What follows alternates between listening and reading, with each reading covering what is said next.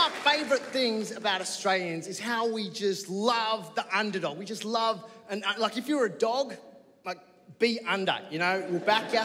Don't be a tall pop. We hate tall poppies. You know, we love the short ones, like Grant Denyer. You know, no one hates him.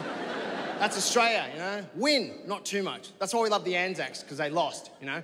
And, oh, too soon, was it? Bit raw.